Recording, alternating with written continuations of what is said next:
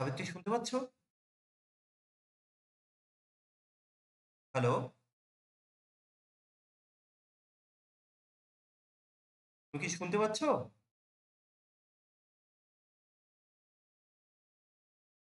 Hello?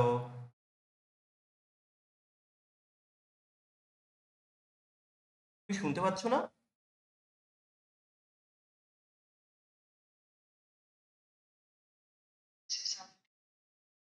ও আচ্ছা ঠিক আছে আবার জয়েন করো। মাইক অনে রাখো সমস্যা নেই।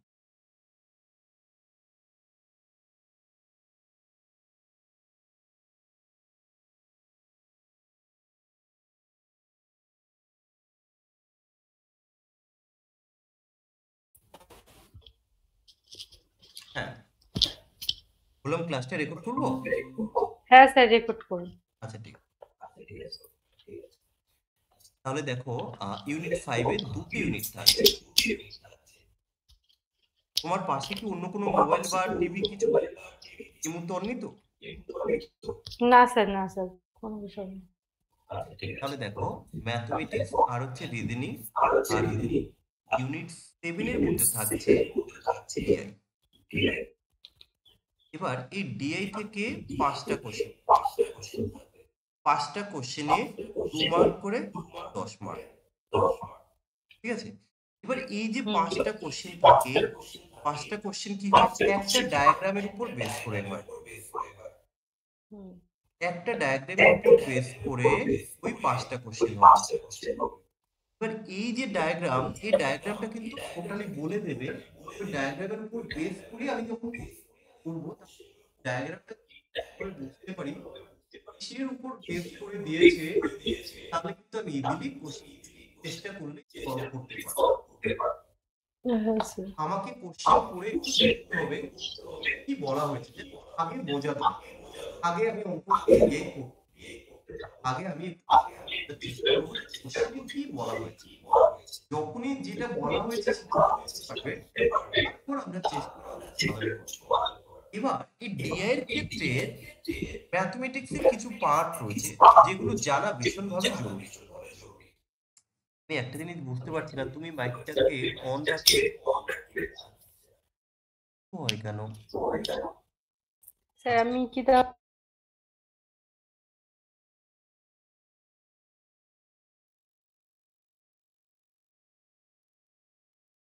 শুনতে পাচ্ছ তো এমনিতে?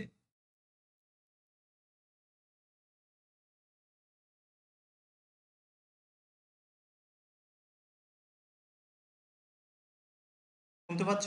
একটু রেসপন্স করো তো মাইকটা অন করে। আচ্ছা হ্যাঁ হ্যাঁ স্যার শুনতে পাচ্ছি। ওকে ওকে গুড এবার এই ডিআই করতে গেলে তোমাকে কিছু যেহেতু কি হয় সেখানে ক্যালকুলেশনের বিষয়টা থাকে। আমি তো এমনি এমনি করতে পারব না। হ্যাঁ এটা বুঝতে পারব যে কি করতে বলা হয়েছে বাট কীভাবে করব? এই কীভাবে করব এটা বোঝার জন্য তোমার ম্যাথমেটিক্স এর কিছু জিনিস জানা দরকার। কি কি? সবার প্রথমে চলে আসবে এভারেজের কথা। এভারেজের কনসেপ্ট তারপরে চলে আসবে অনুপাত বা রেশিওর কনসেপ্ট রেশিওর কনসেপ্ট এরপর চলে আসবে পার্সেন্টেজ পার্সেন্টেজের কনসেপ্ট এরপর চলে আসবে profit and loss profit and লসের কনসেপ্ট তাহলে এই যে চারটে, এই চারটে বিষয় সম্পর্কে ভালো করে জানতে হবে। যখনই তুমি এই চারটে বিষয় সম্পর্কে জানতে পারবে, দেখবে ডিএ এর কোশ্চেন কোনো ব্যাপারই না তোমার কাছে। অর্থাৎ তুমি কোশ্চেনগুলো সলভ করতে পারবে অ্যাটলিস্ট কি বলেছে তার উপর বেস করে করতেই পারবে কিন্তু সমস্যাটা কোথায়? যখন তুমি দেখবে ওই সলভ করতে যাচ্ছ, অনেকটা সময় লেগে যাচ্ছে। এবার এই সময়টাকে সেভ করার জন্য আরও দুটো বিষয় তোমার একটু জানতে হবে। কি কি?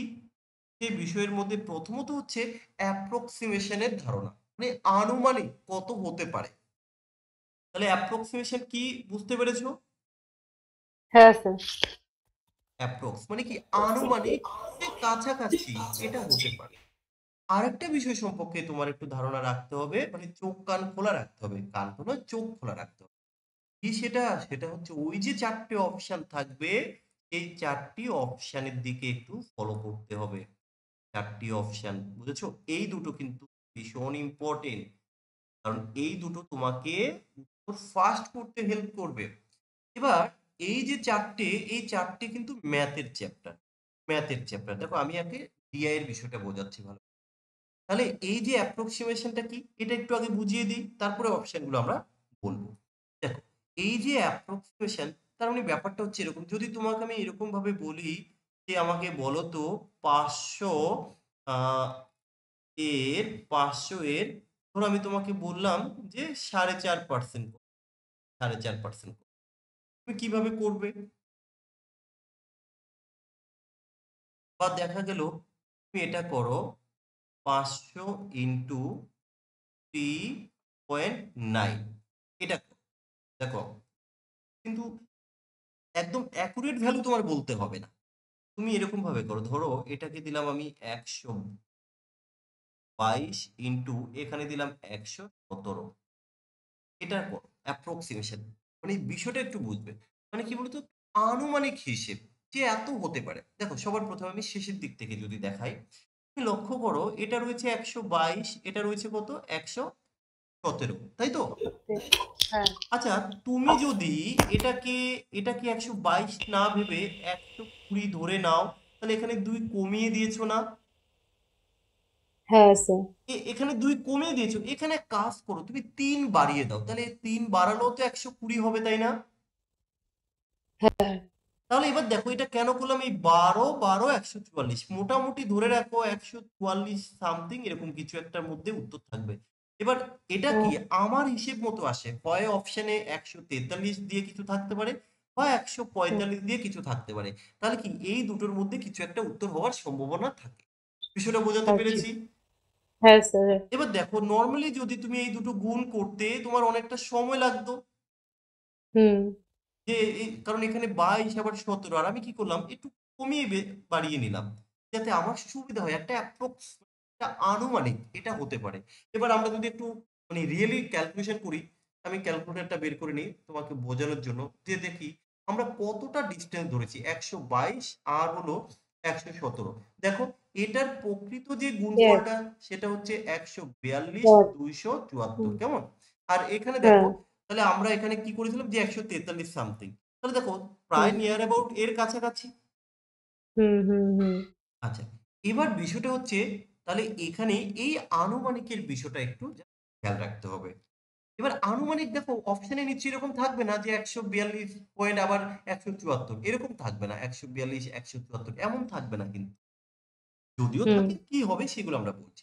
যেমন দেখো এটার ক্ষেত্রে একটা অ্যাপ্রক্সিমেট মানে আনুমানিক কত হতে পারে দেখো এখানে তো থ্রি পয়েন্ট নাইন মানে আর পয়েন্ট ওয়ান হলেই কিন্তু ফোর হয়ে যেত তাই না? মানে তাই তো? হ্যাঁ। তাহলে আমি এটাকে হ্যাঁ, হ্যাঁ। চার ধরি এটাকে চার ধরি তাহলে চার পাঁচা কত? দু হাজার তাহলে নিয়ার অ্যাবাউট কত হবে এটা? এই প্রায় ধরে রাখো উনিশশো আশি সামথিং তো হবেই কি? মানে প্রায় চার। তো দু হাজার দু হাজার হওয়া উচিত। যেহেতু এখানে পয়েন্ট ওয়ান করে পাঁচশো কম আছে মানে আমি পাঁচশো এর সাথে পয়েন্ট ওয়ান করে দিয়েছি। নিয়ার অ্যাবাউট ধরো উনিশশো সামথিং বা সাড়ে উনিশশো তুমি ভাবো না। সাড়ে উনিশশো ধরে চলো। দেখো তোমার কিন্তু সেভ হয়ে গেল। হুম হুম। তাহলে এটা হচ্ছে আনুমানিকের এগুলো আমরা যখন অঙ্ক করব আরও শিখব। আমরা যখন ক্যালকুলেশন করব আরও বেশি করে শিখব। এখন জাস্ট তোমাকে একটু ধারণাটা দিচ্ছি আসলে এই অ্যাপ্রক্সিমেশন বিষয়টা কি? আচ্ছা যেমন দেখো এখানে এটার ক্ষেত্রে তুমি একটা কাজ করো। দেখো এখানে ফোর পয়েন্ট ফাইভ তুমি ফোর পয়েন্ট ফাইভ বের করার দরকার নেই। তুমি না একটা কাজ করো প্রথমে চার পার্সেন্ট বের করো। এর চার পার্সেন্ট কত হবে বলো তো? দু হাজার। চার পার্সেন্ট বলেছে কিন্তু। ও আচ্ছা আচ্ছা। হ্যাঁ। দেখো পার্সেন্টেজের। একটা ফান্ডা বলে দেই। পাঁচশো এই যে ধরো ফোর পার্সেন্ট মনে রাখবে পার্সেন্টেজের জন্য আমরা নিচে অলওয়েজ একটা শূন্য শূন্য দিই। তাহলে ওই নিচের দুটো শূন্য আর এই দুটো শূন্য অল টাইম কেটে যাবে। তাহলে মনে রাখবে পার্সেন্টেজ যদি কোনো কোশ্চেনে থাকে এবং যার পার্সেন্টেজ বের করো তার থেকে তুমি দুটো শূন্য বাদ দিয়ে দিতে। বুঝতে পেরেছ? হ্যাঁ হ্যাঁ হ্যাঁ। আচ্ছা তাহলে এবার দেখো প্রথমে আমি কি করলাম? চার পার্সেন্ট বের করছি। তাহলে এর চার পার্সেন্ট কত? চার পাঁচে কুড়ি। দেখো আমি কিন্তু কুড়ি। সাড়ে চার একবারে বের করছি। এবার তুমি পয়েন্ট ফাইভ বের করো। আচ্ছা পয়েন্ট ফাইভ বের করতে যদি তোমার কষ্ট মানে প্রবলেম হয় তুমি এক কাজ করো পয়েন্ট ফাইভ না বের করে তুমি এক পার্সেন্টেজ বের করো তো। এক পার্সেন্টেজ কত? তুমি বলে স্যার পাঁচশো এর এক পার্সেন্টেজ কত হবে? পাঁচ হবে। কিন্তু তুমি- হ্যাঁ কিন্তু এখানে তো হাফ তুমি হাফ বেশি ধরেছো। তাহলে তো আর এখানে কি পাঁচ হবে আড়াই হবে। আড়াই না হবে না অর্ধেক আড়াই হ্যাঁ তাহলে দেখো তুমি কিন্তু একবারে করে দিচ্ছ। কত? বাইশ পয়েন্ট ফাইভ। দেখো বেশি ক্যালকুলেশন কি করেছ? না না না। তার মানে কি? এগুলো জাস্ট একটা আনুমানিকের ক্লিয়ার এবার পরের এই যে চারটে অপশন এই চারটে অপশনের কি কাজ? দেখো আমরা যখনই ক্যালকুলেট ও আমরা ওই চারটে অপশনে ক্যালকুলেট লক্ষ্য রাখব কেমন? ধরো এখানে আমি দিলাম বত্রিশ পয়েন্ট জিরো টু। এখানে আমি দিলাম, ধরো থ্রি ওয়ান পয়েন্ট টু আচ্ছা ধরো এখানটায় আমি দিলাম thirty nine point zero five D হচ্ছে ফর্টি ওয়ান পয়েন্ট জিরো এবার দেখা গেলো এরকম, তুমি তিন দিয়ে ভাগ করবে। কাকে ভাগ করবে? ধরো তুমি একশো এককে ভাগ করবে, ভালো করে একটু বুঝে নাও। তুমি কিন্তু কমপ্লিট ভাগ করার দরকার নেই। প্রথমে কি করবে? তুমি তিনবার তো দেবে, কি? হুম হুম। দেখো অপশন তোমাকে কীভাবে হেল্প করছে? প্রথমে তুমি তিনবার দেবে তুমি কি করবে? তিন তিরিকে নয় লিখবে আবার এই যে এক আর এক লিখবে এবার কত হবে? তিন দুগুণে ছয় তিন তিরিকে নয়। দেখো তিন তিরিকে হুম। হওয়া উচিত ছিল। তাহলে দেখো এই যে তেত্রিশ মানে অ্যাটলিস্ট তেত্রিশ পয়েন্ট সামথিং তো উত্তর হতে হবে কি? হুম তাহলে হুম দেখো হুম এটা হুম। কখনোই হবে না এটা অনেক বেশি হবে না। এটা আছে একত্রিশ পয়েন্ট জিরো টু এটা হচ্ছে বত্রিশ পয়েন্ট যেহেতু তেত্রিশের 32 আমি এটা হ্যাঁ ধরলাম। হ্যাঁ। তাহলে এটা ধরলাম। না তার মানে কি আর আমার দরকার নেই। আর নাহলে কি দেখা গেলো কি তুমি আবার ভাগ করতে যে আবার এই তিন তিন দুগুণে ছয় এভাবে কি আমরা ভাগ করতাম না? এই জিনিসগুলো করার কোনো দরকার নেই যে আমরা কন্টিনিউ ভাগ করব। তার মানে দেখো আমার এই অপশনের থ্রুতে আমি অনেক সময় সেই জায়গাগুলোকে এলিমিনেট করে হুম। তাহলে তুমি এবার আমাকে একটু বলো ডিআই করতে গেলে তোমার কোন কোন বিষয় সম্পর্কে ধারণা রাখতে? ওই অ্যাভারেজ রেশিও পার্সেন্টেজ এগুলো। এগুলো বাকিগুলো বলো। Profit and profit and loss হ্যাঁ। তারপরে? অ্যাপ্রক্স মতলব ওই আনুমানিকটা একটা কল্পনা করে কল্পনা করতে পারলে সুবিধা হবে যে কোন পয়েন্টটা আসতে পারে। আচ্ছা। তারপরে কি দরকার? চারটে অপশনের দিকে একটু নজর অপশন হ্যাঁ হ্যাঁ। দেখো এবার একটা বিষয় হয় অনেক সময় অঙ্কের হিসেব অঙ্ক হয়তো আমরা ঠিকঠাক বুঝতে পারি না ধরতে পারি না। কিন্তু ভাই আমি ম্যাচিউর হয়ে গেছি। বা এই জায়গাতে আমি যে জিনিসগুলো ধরো এখন বলব এই পয়েন্টটা থিওরিক্যাল একটু কেন?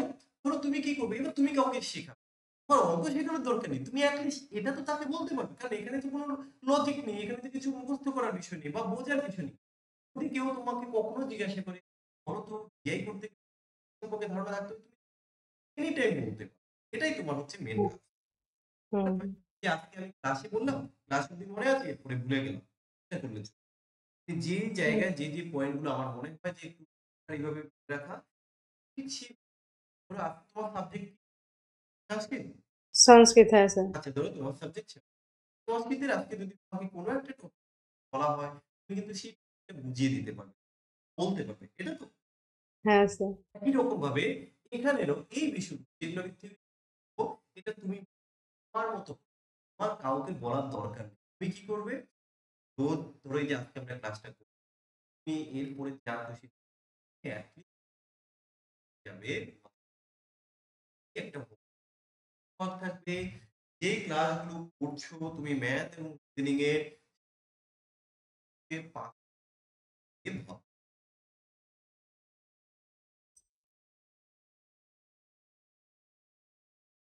একবার করে রিভিশন দেখবে তোমার মন থেকে মানে টার্মগুলো বেরোয় কিনা।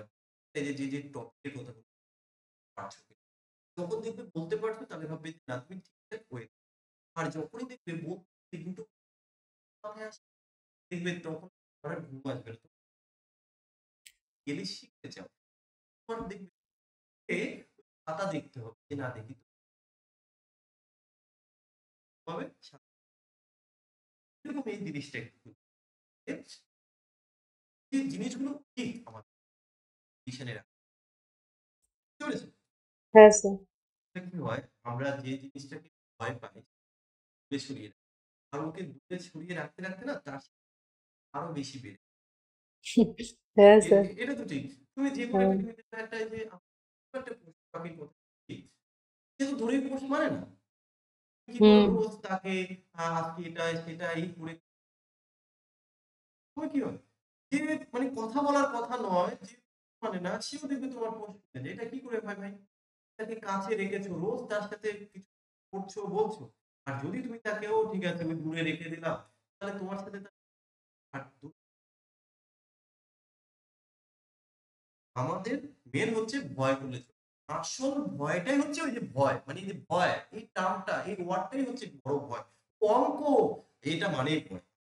হ্যাঁ এবার যদি এটাই হতো তাহলে বাকি যারা আছে, তারা কি করে শিখবে?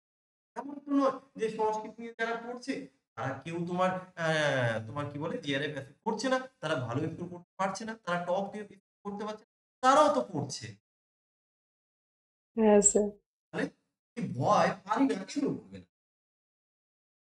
আমার কাছে পার্সোনাল আমার প্রায় আড়াই বছর ধরে হ্যাঁ। সাবজেক্ট সাবজেক্ট সংস্কৃত বিদ্যাতত্ত্বের স্টুডেন্ট এবং হঠাৎ করে না এই যে রাজ্যের হাল অবস্থা ভাই খুব ভালো না বিএড করা। পরীক্ষা তো আর হ্যাঁ। হচ্ছে না কি করবে? তারপরে সে ফার্স্ট আমার কাছে পার্সোনাল ভাবে এর জন্য পড়া শুরু করে স্কুলের পরীক্ষা খুব ভালো দিয়েছে।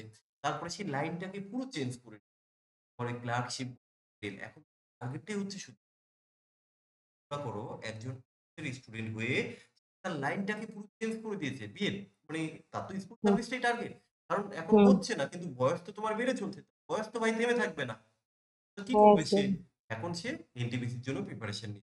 মোটামুটি ম্যাথ রিজনিং যথেষ্ট। মানে তুমি তাকে সে যদি তোমার পাশে বসে কখনই তাকে বলতে পারো না যে ও সংস্কৃতের স্টুডেন্ট ছিল না। কারণ কি? সেই জায়গাটাতে করে প্র্যাকটিস অসম্ভব। বড় একটু বাধা হয়ে দাঁড়ায়। ও অঙ্ক, এই নামটা মানে এই টার্মটাই আমাদের ভয় হয়ে দাঁড়ায়। আর কিছু এই জিনিসটা রাখবে না, সব হয়ে যাবে। তাহলে দেখ, এখানে তো আমি ডিআই পোর্শনটা আমরা বললাম। ডিআই আমরা করব কি করে? ডিআইটা আগে একটু ক্লিয়ার ধারণা দিয়ে দিই। ডিআই এর কি কোনো ধারণা আছে তোমার? না স্যার, আমি পড়িনি একদম। আচ্ছা করোইনি দাঁড়াও। তাহলে সব থেকে ভালো হয় তোমাকে ডি এর একটা স্লাইড দেখাই।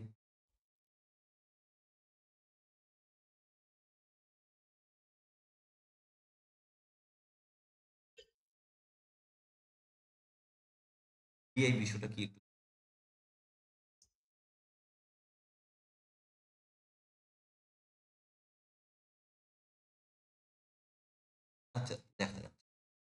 আচ্ছা দেখো ডিএ এর মেন যেই পার্টটা আমি তোমার সিলেবাসটা একটু আশা করি সিলেবাসটা তো জানো না সিলেবাসটাও জানো না। না সিলেবাসটা জানো। যাক দাও ভালো। ঠিক এবার দেখো সিলেবাসে কিন্তু অনেক কিছু রয়েছে। এই যে কি সব রয়েছে এগুলো যাই হোক এগুলো না ভাই কোনো দরকার নেই এগুলো কোনো দরকার নেই। এগুলো কিচ্ছু দরকার নেই। সিলেবাস দেখলে অনেক সময় ভয় লেগে যায়। মানে এত কিছু দিয়ে দেয় সিলেবাসের মধ্যে যেগুলো হয়তো দরকার নেই। আবার এমন কিছু আছে যেগুলো দেয় না সেগুলো চলে আসে। আমাদের মেনলি দরকার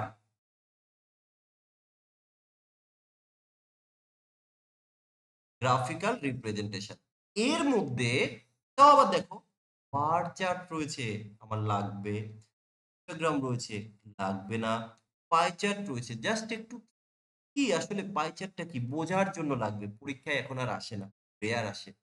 টেবিল চার্টটা আমার লাগবে ভীষণ ভীষণ লাগবে এটাকে একটু বেশি এখান থেকে কোশ্চেন লাইন চার্টটা খুব একটা ইম্পর্টেন্ট নয়। তাও ওই জাস্ট একবার কি বোঝার জন্য। তাহলে আমাদের মেন ইম্পর্টেন্টগুলো আমি কিন্তু মার্ক করে দিই আমি হ্যাঁ স্যার আরও ভালো করে বোঝানোর জন্য সব থেকে যত বেশি টিক মারা সেটা বেশি ইম্পর্টেন্ট তারপরে যেটা কম টিক মারা সেটা তারপরে ইম্পর্টেন্ট তারপরে যেটা আর একটু কম মানে আস্তে আস্তে কমের দিকে যাচ্ছে। বুঝেছ? হুম হুম। বাকি এইগুলো দরকার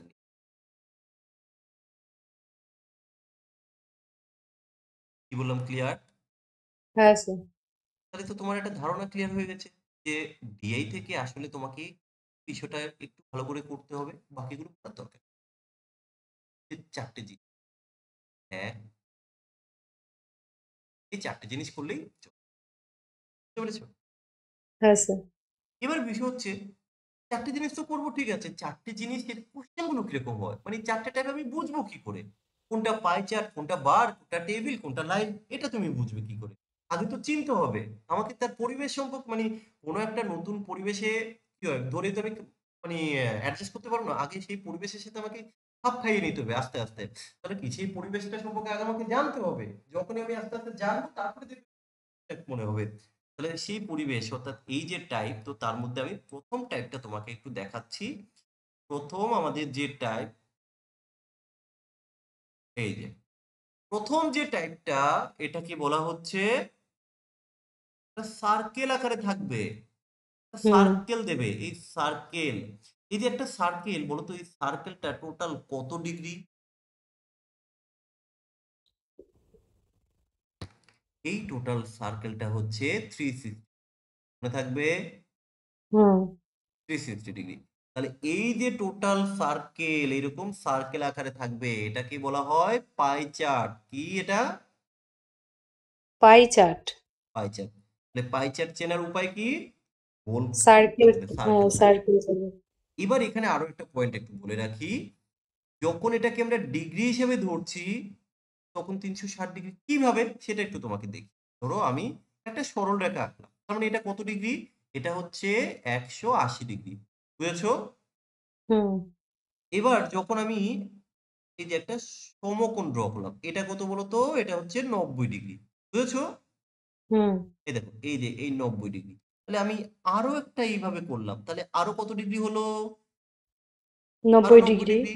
আমি এইভাবে আবার একটা ড্র করলাম এটা কত ডিগ্রি হলো? নব্বই ডিগ্রি। তাহলে আর এইটুকু কমপ্লিট করে দিলাম তাহলে এটাও নব্বই ডিগ্রি দেখো একটা সার্কেল হয়ে গেল না? হ্যাঁ। এই সার্কেলটা কত ডিগ্রি হ্যাঁ ডিগ্রি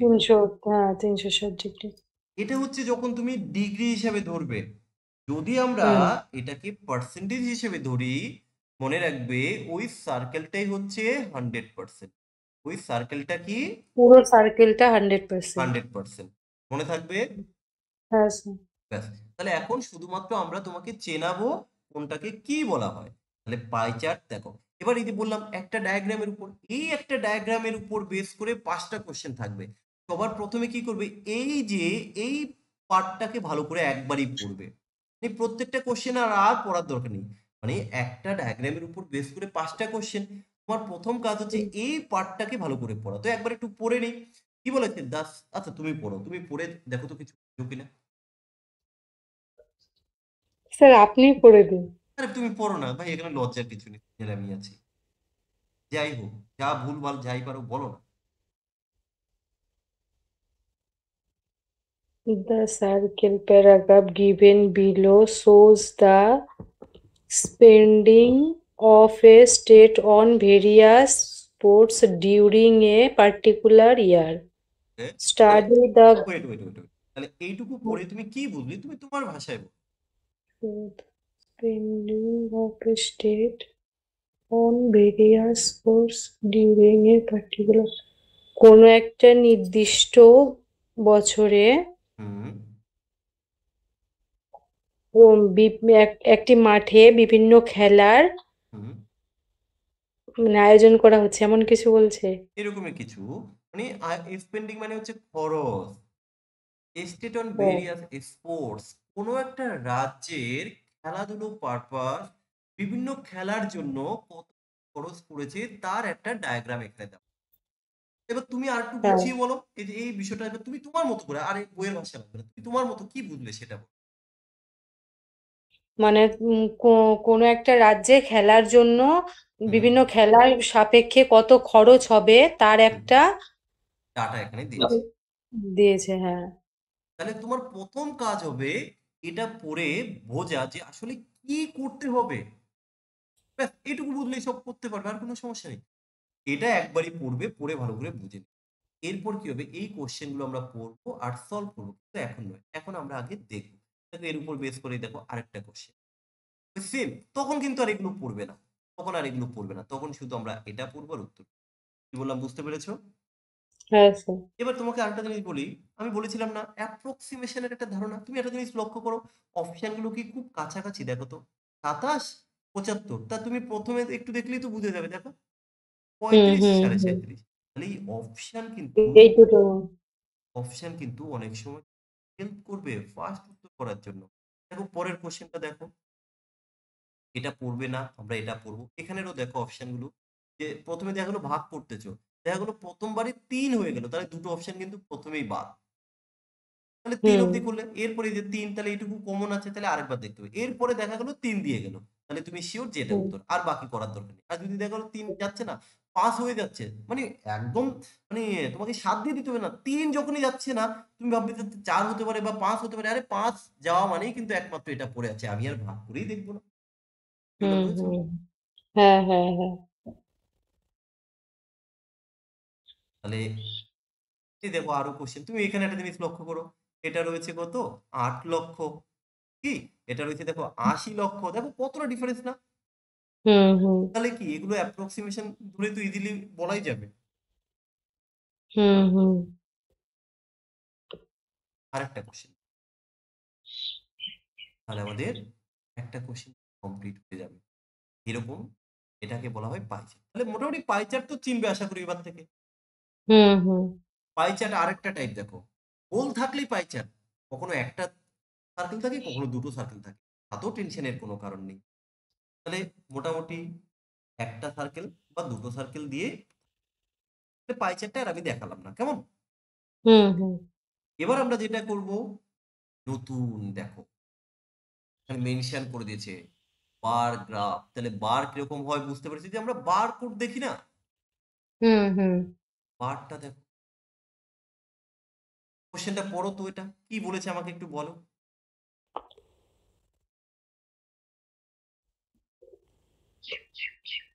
স্যার এক নাম্বার কোশ্চেনটা? না কোশ্চেন না মেন এই যে যেটুকু পড়তে হয়। এটা study the following bar graph and answer the question given below production of fertilizers hmm by a company in 10,000 tons, tons of over the. আচ্ছা এটা কি বুঝলে? বলো। কোনো একটা কোম্পানি প্রোডাকশন ফার্টিলাইজার ফার্টিলাইজার মানে কি? সার আর প্রোডাকশন মানে কি উৎপাদন? হ্যাঁ। তাহলে কোনো একটা কোম্পানির সার উৎপাদনের একটা হিসেব দিয়েছে। নির্দিষ্ট বছর যেমন দু হাজার পাঁচ সালে কতটা উৎপাদন হয়েছে দুহাজার ছয় সালে কত উৎপাদন হয়েছে দু সাত এইভাবে দু অর্থাৎ কি দু হাজার পাঁচ সাল থেকে দু হাজার বারো সাল অবধি কোনো একটা কোম্পানিতে কতটা টন তোমার কি প্রোডাকশন হয়েছে তার একটা হিসেব এখানে দিয়ে। বিষয়টা বুঝতে পেরেছ? হ্যাঁ হ্যাঁ। তাহলে বার্ড গ্রাফ কোনটা অ্যাটলিস্ট দেখে এবার চিনতে পারবে? হুম হুম। বাকিগুলো একটু দেখো তো। এই রিলেটেড কোশ্চেন আর কিন্তু তুমি এটুকু পড়বে না। এটুকু পড়ার কাজ শেষ একদম আমি দুবার পড়ব। বুঝছ? হুম হুম।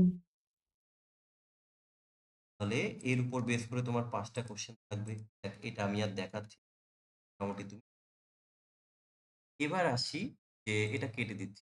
টেবিলটা এবার একটু দেখিয়ে দিই। কেমন?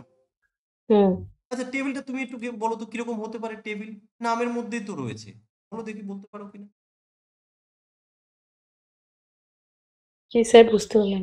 টেবিল চার্ট কীরকম হয়? নামের মধ্যে কিন্তু রয়েছে। টেবিল কীরকম হয়? স্যার টেবিলটা তো মানে আমরা যেটা নেটে আমি পরীক্ষা দিয়ে দুই একবার দেখেছি। আচ্ছা। হ্যাঁ বলো কি দেখেছ? মানে টেবিল টেবিলটা টেবিলের মতো আয়তক্ষেত্রের মতো হয় হয়ে তারপর হ্যাঁ হ্যাঁ হ্যাঁ। আচ্ছা তারপর আচ্ছা আচ্ছা। দেখো তো এরকম কি না? এই এরকম বক্স করা থাকবে। তাই তো? হ্যাঁ হ্যাঁ হ্যাঁ স্যার তারপর বিভিন্ন শাল টাল অনেক সময় দিয়ে হুম হুম দেয় হুম এই সাথে এগুলো নিয়ে চাপের কিছু নেই। এই অনেক সময় ভাবি ওরে বাবা তা তো বিশাল ব্যাপার স্যাপার। কিন্তু দেখো এটা হচ্ছে টেবিল এরকম টেবিল থাকবে। সেটা একটা টেবিল থাকতে পারে দুটো টেবিল থাকবে। তাহলে আশা করি টেবিল চিনতে পেরেছ আর পাই চার্ট চিনতে পেরেছ বার ডায়াগ্রাম চিনতে পেরেছ। তিনটে চিনতে পেরেছ তো? হুম। দেখ আমরা কোশ্চেন পরে করব। এবার তুমি আমাকে জাস্ট একটু বলো যে ডিআই সম্পর্কে তোমার ধারণাটা কি ক্লিয়ার হয়েছে? হ্যাঁ স্যার কিছুটা হয়েছে। কেন বাকি কি আছে?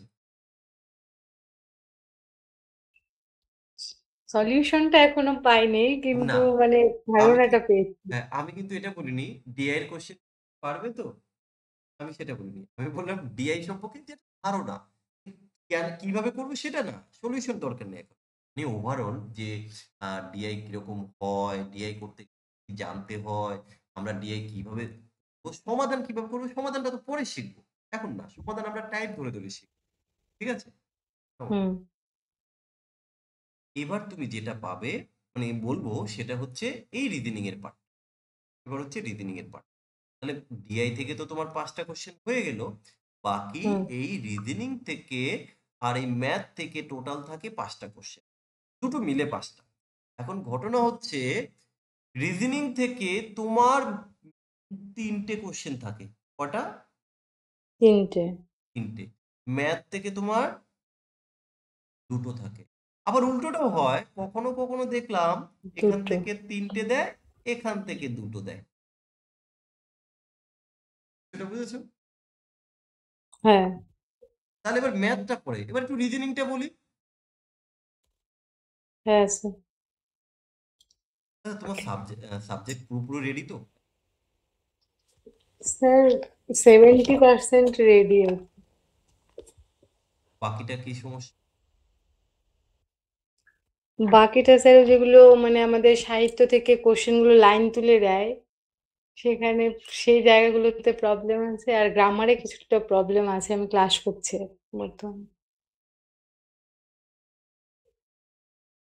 আচ্ছা দেখো রিজনিং এর মধ্যে তুমি দুটো কোশ্চেন হান্ড্রেডে হান্ড্রেড পার্সেন্ট ধরে রাখো। তুমি পাবেই পাবে। কোথা থেকে? নাম্বারস। তিরিশ থেকে। হ্যাঁ। সিরিজ থেকে। তাহলে কি বললাম? এই সিরিজ থেকে দুটো কোশ্চেন থাকে। ঠিক আছে? এই যে সিরিজের পাশে আমি দুই দুটো কোশ্চেন আরেকটা চ্যাপ্টার হচ্ছে কোডিং ডিকোডিং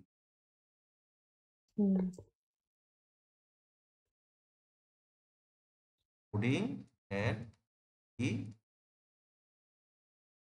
থেকে একটা কোশ্চেন কি বলবে স্যার আপনি তো বললেন কোনো কখনো কখনো তিনটে থাকে কখনো কখনো দুটো থাকে। তাহলে যখন তিনটে থাকবে তাহলে কোথা থেকে কোশ্চেন যখন তিনটে থাকবে তো সিরিজ থেকে থাকবে একটা কোডিং ডিকোডিং থেকে অনেক সময় দেয়। আবার অনেক সময় কি হয় এক্সট্রা যে কোনো দেখবে কারণ ওই সিলেবাসে না একটা বাজে কথা লেখা আছে। বাজেটা হচ্ছে কি বলতো? এটসেট্রা দেখেছ এই লেখাটা? হ্যাঁ এটা হচ্ছে সব থেকে কঠিন সিলেবাসের টপিক এটসেট্রা মানে রিজনিং এর যা খুশি আছে এবারে যা খুশির মধ্যে কি কি তোমাকে একটু জানতে হবে? তবে সহজ। ওটা চাপের টাইম দিতে হবে। প্রথমত হচ্ছে relation hmm. Blood relation relation বলতে? ব্লাড রিলেশন ব্লাড রিলেশন দ্বিতীয়ত কখনো ম্যাথমেটিক্যাল অপারেশন এবার সেটার চ্যাপ্টার বা কোশ্চেন না দেখলে তুমি হয়তো বুঝতে পারবে না সেটাকে আমি আহ, বা অনেক সময় কোনো কোনো বইতে সিম্বল অ্যান্ড নোটেশন বলে S Y M symbol and notation কি সেটা আমি একটা ক্লাসে হয়ে যাবে টেনশনের কোনো কারণ নেই। Symbol and notation. আরেকটা যেটা করতে হবে সেটা হচ্ছে ক্লক অথবা ক্যালেন্ডার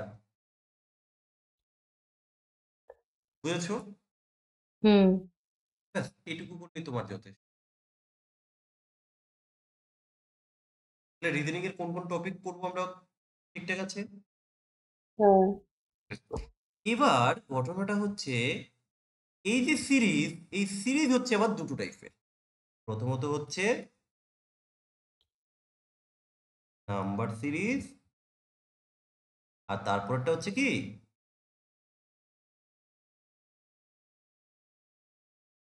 লেটার নাম্বার সিরিজ একটা হচ্ছে লেটার সিরিজ এবার বিষয় হচ্ছে এই যে সিরিজ মানে লেটার সিরিজ এটা তুমি ধরে রাখো হান্ড্রেডে হান্ড্রেড পার্সেন্ট তুমি পাবেই পাবে মানে পারবেই। কেউ তোমাকে ঠেকাতে পারবে না। জ্বর হোক তুফান হোক মানে যাই হোক না কেন তুমি পাবেই আর। মানে পাবে বলতে কি? পারবে আর। মানে কতটা কনফিডেন্সের সাথে বলছি মানে বুঝতে পারছ?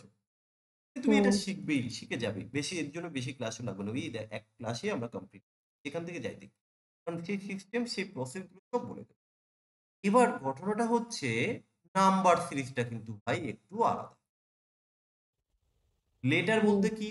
অ্যালফাবেটিক্যাল যে ছাব্বিশটা লেটার আছে ওই লেটার দিয়ে কিছু থাকে কখনো ওয়ার্ড দিয়ে কিছুটা থাকে তো এটা হয়ে যায়। কিন্তু এই নাম্বারটা হচ্ছে খুব বাজে বিষয়। এই নাম্বার সিরিজ করতে গেলে তোমাকে অনেক কিছু জানতে হবে। ঠিক আছে? অনেক কিছু জানতে হবে। নাম্বার সিরিজের মধ্যে আবার দুটো টাইপের কোশ্চেন থাকে। প্রথমত এরকম দেবে ধরো আমি এখানে একটা দিচ্ছি চার দিলাম নয় দিলাম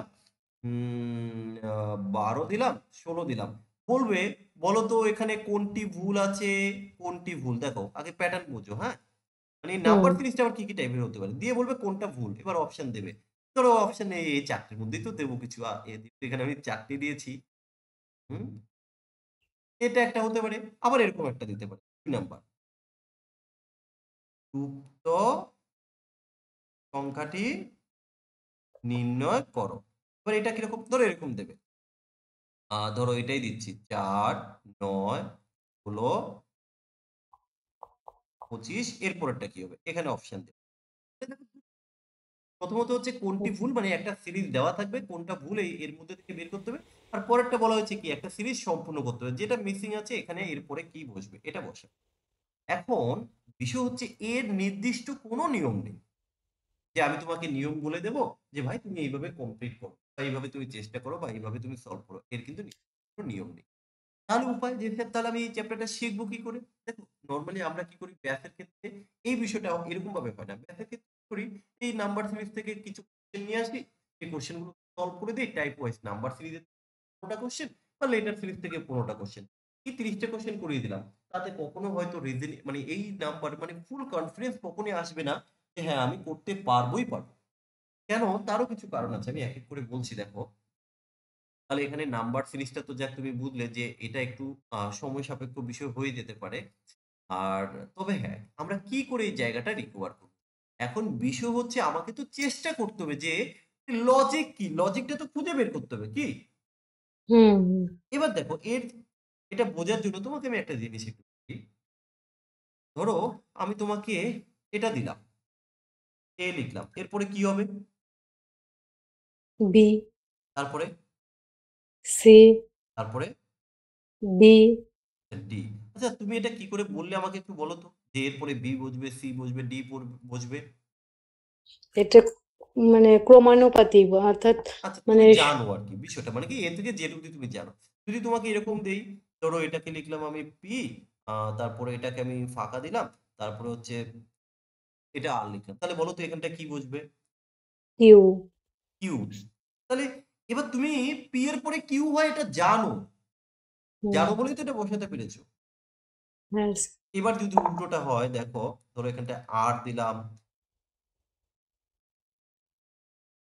এটা পি দিলাম। এবার এখানে তোমাকে যদি এই দুটো গ্যাপ দিয়ে দিলাম। এই দুটোতে কি হবে এবার তুমি বলো তো?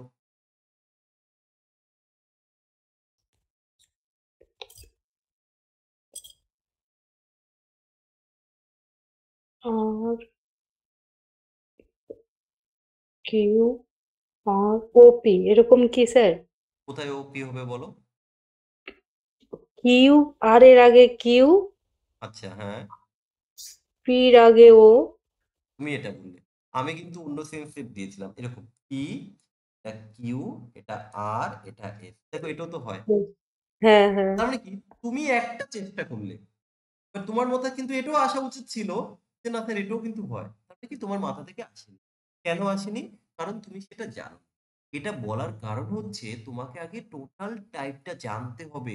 দেখবে সিরিজের ক্ষেত্রে কখনো স্কোয়ার করে করতে হয়, কখনো কিউব করে করতে হয়, কখনো প্লাস করতে হয়, কখনো মাইনাস করতে হয়, কখনো ইনটু করতে হয়, কখনো একবার প্লাস করে আবার প্লাস করতে হয়। অনেক কিছু আছে। তো আমি সবসময় এই জায়গাটায় একটা জিনিস সাজেস্ট করি। সেটা হচ্ছে যে, ভাই, তুমি আগে কোনো কি? তোমার এইভাবে করতে হবে না। যে আগে সমাধান করব স্যার না না আগে কি করবে?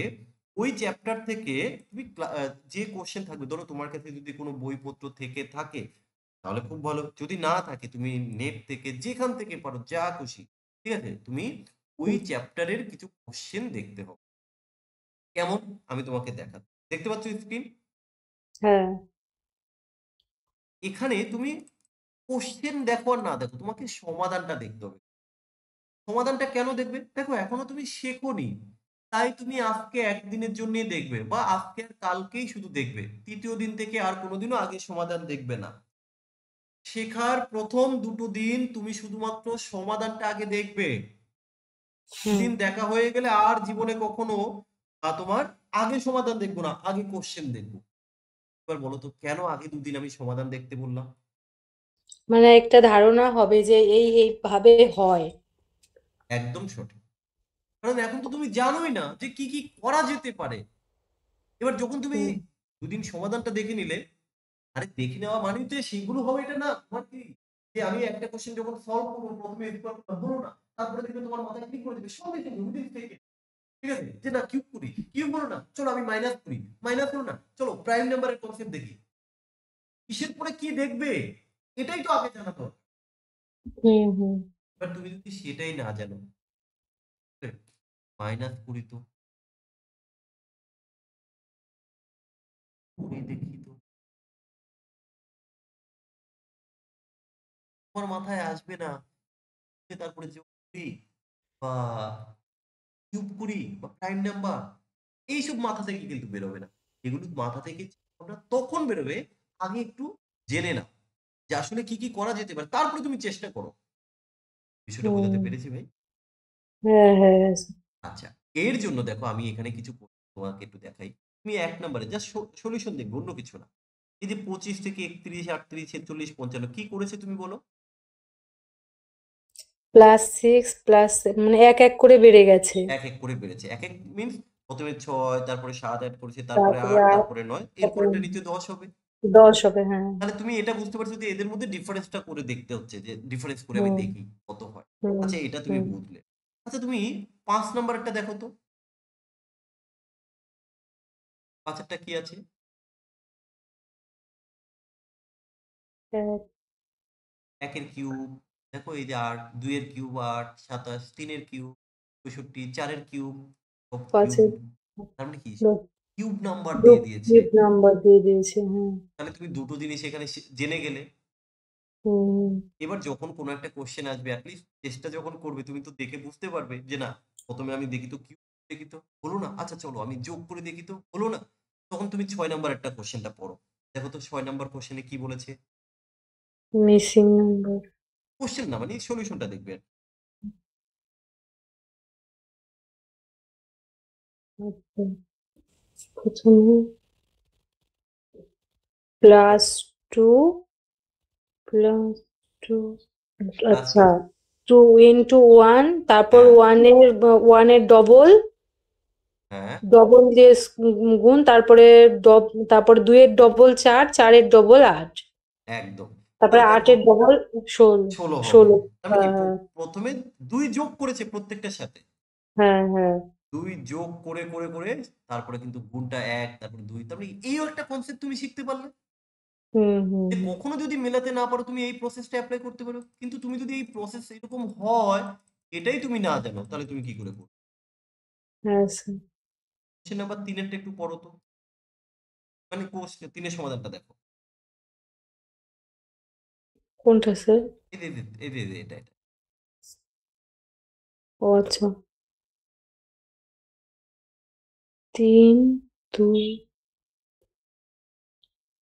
তিন থেকে দুই মাইনাস ওয়ান প্লাস সিক্স ও মাইনাস ওয়ান প্লাস সিক্স মানে মাইনাস ওয়ান প্লাস সিক্স করে গেছে সবগুলোতে। প্রথমে প্রথমে মাইনাস ওয়ান তারপরে প্লাস সিক্স আবার মাইনাস ওয়ান প্লাস সিক্স একদম।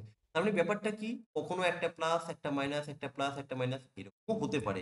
দেখো আজকে এখানে মাইনাস ওয়ান করেছে তার মানে এটা নয় যে আমি মাইনাস ওয়ানই করব। আমি minus two minus five minus two minus এরকমও হতে পারে। বুঝেছ? তার মানে মেন হচ্ছে যে গুলো যে আমি কীভাবে চেষ্টা করব এটাই হচ্ছে আগে জানা। ওই আগে এসে শুধু দশটা কোশ্চেন তাহলে। হুম। কোশ্চেন নাম্বার ফোর এই যে এটা একটু দেখো তো। এটা,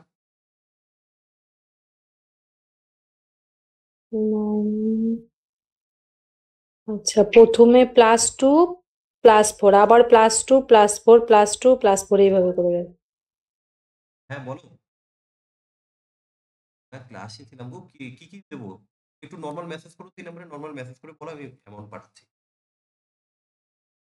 হ্যাঁ তাহলে এখানে আমরা কি দেখলাম? যে প্লাস টু করল তারপর প্লাস আবার plus four plus two plus four plus two এবার দেখো আমি যে সময় নষ্ট করে আসলে এখানে কি বোঝাতে চেয়েছি সেটা কি ভাই তুমি ধরতে পেরেছ? হ্যাঁ স্যার মানে কি কি প্রসেসগুলো অ্যাপ্লাই আমরা হচ্ছে? করতে পারি। পারে হ্যাঁ।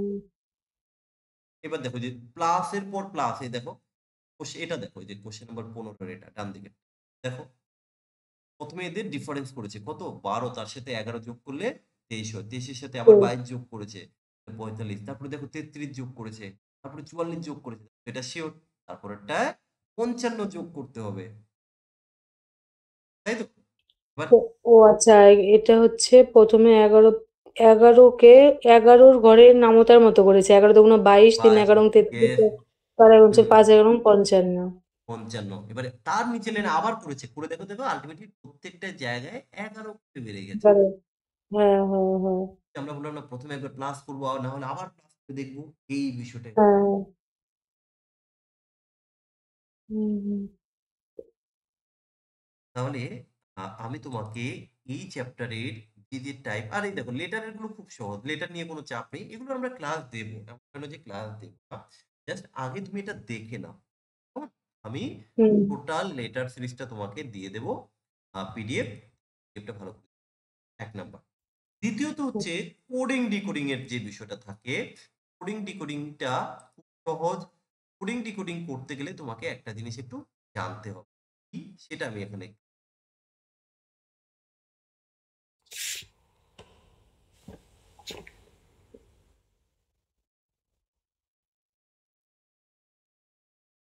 এই দেখো আমাদের যে অ্যালফাবেটিক্যাল ছাব্বিশটা লেটার আছে আমি এখানে সেই ছাব্বিশটা লেটার নিয়েছি কেমন?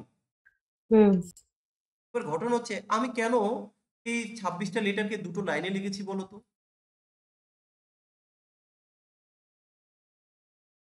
কেন লিখলাম আমি দুটো লাইনে? এখান থেকে দেখো এ এ থেকে এম অব্দি লিখলাম তারপর আবার এখান থেকে লেখা শুরু করি কেন লিখেছি? একটা স্থানীয় মান আর একটা হচ্ছে মানে বিপরীত দিক থেকে ওর কত হচ্ছে ভ্যালুটা? আচ্ছা আচ্ছা তাও ভালো উত্তর দিয়েছ। এরকমটা তো নয় যে এখানে জায়গা নেই তো। তাই আমি নিচে লিখেছি। না স্যার না। ওকে ওকে। তাহলে ব্যাপারটা হচ্ছে এটা ঠিক। আমরা জানি টোটাল ছাব্বিশটা লেটার আমরা এক এক লাইনে তেরোটা করে লেটার লিখলাম। তেরো থেকে দেখো আমি আবার এখানে এদের মধ্যে একটা সিমিলারিটি রয়েছে। কি সিমিলারিটি দেখো এর এই দুটো মিলে যোগ করে দেখো টোয়েন্টি সেভেন হচ্ছে। প্রত্যেকটা দেখো উপর আর নিচে যোগ করো টোয়েন্টি সেভেন হচ্ছে প্রত্যেকটা। প্রত্যেকটার কিন্তু উপর নিচে যোগ। তাহলে আমাদের এটা মনে রাখতে হবে যে কার ভ্যালু প্রত্যেকের কিন্তু এই যে এখানে দুটো তীর রয়েছে একটা উপরের দিকে একটা দিকে। কেন বলতো এর দুটো ভ্যালু ফরওয়ার্ড একটা ব্যাকওয়ার্ড ফরওয়ার্ড মানে কি? তুমি সামনের দিক থেকে হুম। এ যদি সামনের দিক থেকে তার ভ্যালু কত হবে?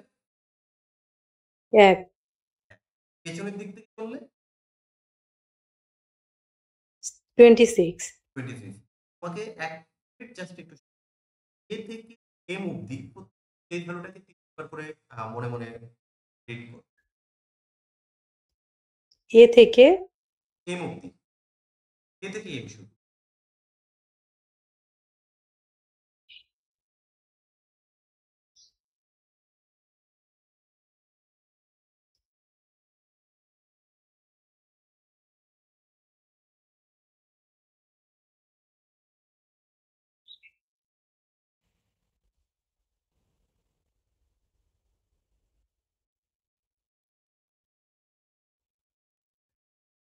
বলে বলবে হ্যাঁ স্যার বলছি।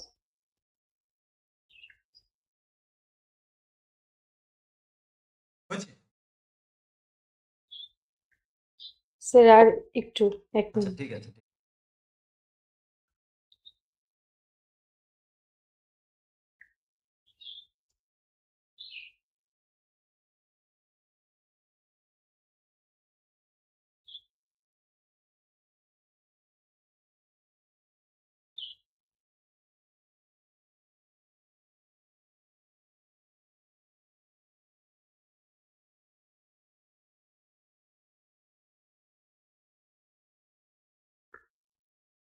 হ্যাঁ স্যার। আচ্ছা। এবার একটা জিনিস লক্ষ্য করো তুমি জানো যে টোটাল দুটো লেটারের যোগফল টোয়েন্টি সেভেন হয়। এটা তো ঠিক। হুম। আমার কিন্তু এখানে প্রত্যেকটা লেটারের পরে মনে রাখতে হবে। আমি শুধুমাত্র বললাম এই ফার্স্ট লাইনটা শুধু খেয়াল রাখো। এবার দেখো এর মধ্যে এ বি সি এই তিনটে তো আশা করি কোনোদিনও মুখস্থ করতে হবে না। এমনিতেই মনে না। থাকবে। আর হ্যাঁ। তেরো এমনিতে মনে থাকবে। কেন? কারণ তেরোতে আমরা ব্রেক তাই তো?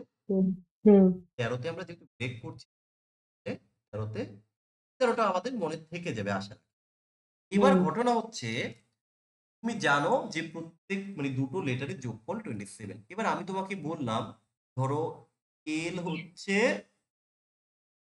এল হচ্ছে বারো আর তাহলে তার opposite হচ্ছে ও তুমি এবার এদিকে দেখবে না এদিকে নাম্বার দেখাতে।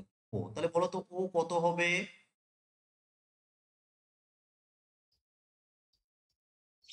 পনেরো। পনেরো। কি করে বললে তুমি? স্যার এল এর পরে এ এম এর পরে এন তারপরে না না না। এইভাবে বললে তো হবে না। তোমাকে কি বললাম? দুটোর যোগফল টোয়েন্টি সেভেন হবে। তাই তো? এই দুটোর যোগফল টোয়েন্টি সেভেন হতে হবে। তাহলে এটা যদি বারো হয় তাহলে এটা কত? তুমি টোয়েন্টি সেভেন থেকে মাইনাস ও আচ্ছা আচ্ছা। ও আচ্ছা আচ্ছা। মানে যেটার ভ্যালু দেওয়া থাকবে আর যেটা দেওয়া থাকবে না আর ওই সাতাশের সাথে ওই যেটার ভ্যালু দেওয়া থাকবে ওটা মাইনাস করলেই যেটা বেরোবে সেটাই। হ্যাঁ হ্যাঁ তবে হ্যাঁ অপোজিট হ্যাঁ। হতে হবে। যেমন দেখো আমি তোমাকে এখানে বললাম যে ধরো পি ভালো করে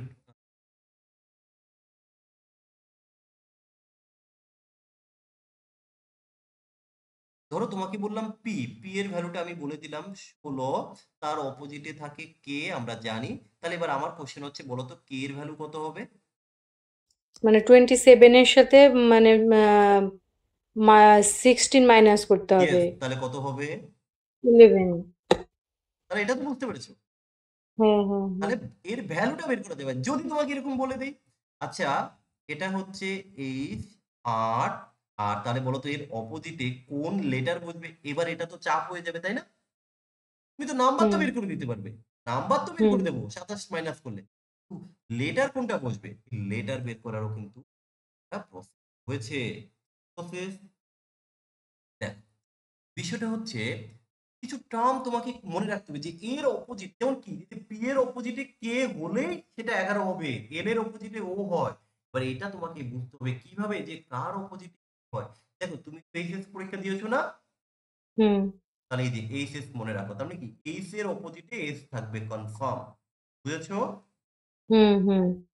কলকাতা পুলিশ তো দেখো। হ্যাঁ। এই যে কোল কেপি মনে রাখতে হবে যে কেপি কে থাকলে মনে এরকম রানিং এ চলে আসবে। কেপি কেপি এইভাবে। তারপরে যেমন তুমি এসে দিলে আচ্ছা কলকাতার যে জি রোড রয়েছে জিটি জি এর সাথে এগুলো কি বলতো?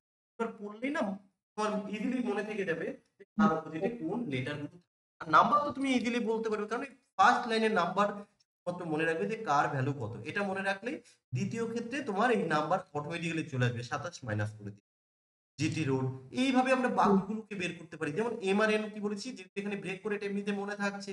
যেমন দেখো, আমি লাভ লিখলাম, ঠিক আছে? এই লাভ লিখলে এটাকে পার্টিশন করলাম। এল এর অপোজিটে ও থাকল বি এর অপোজিটে ই থাকল। এইভাবে আমরা যেমন এ যে ফালতু ইউনিভার্সিটি হ্যাঁ? ফালতু ইউনিভার্সিটি আমরা অনেক সময় বলি না ফালতু ইউনিভার্সিটি এই দেখো এই পুরো তাহলে কার অপোজিটে কি হবে এটা একটু ভালো করে তোমাকে হবে। তাহলে এই অবধি মোটামুটি বোঝাতে পেরেছি? হ্যাঁ এটুক তো হলো।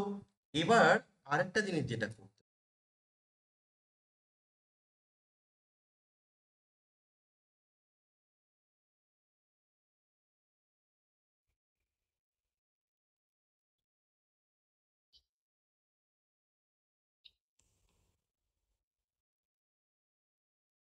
হচ্ছে এক থেকেই বলে দিই এক থেকে পনেরো অব্দি সংখ্যার কিউব ঘন ঠিক আছে? এক থেকে সংখ্যার বর্গ আর নামতা বা টেবিল হবে সেটা কি? বারো তেরো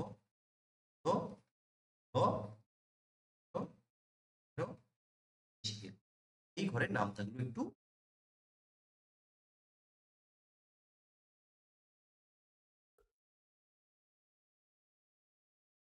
ঠিক আছে